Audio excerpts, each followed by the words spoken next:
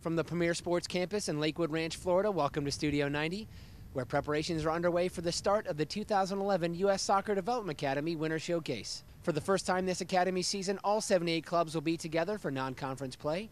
Also, this week, the ninth edition of the Nike International Friendlies, featuring the United States, last year's champions Turkey, newcomers France, and the team out on the training field now, the under 17 men's national team from Brazil. All of the USA's matches will be shown live on Fox Soccer.